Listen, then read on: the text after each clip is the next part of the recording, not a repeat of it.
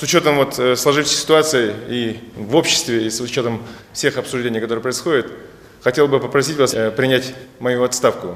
Хотел бы также воспользоваться случаем и поблагодарить вас за доверие, которое оказали мне. Блин, такой классный сон приснился. Тьфу, елки. Ну ладно, поехали.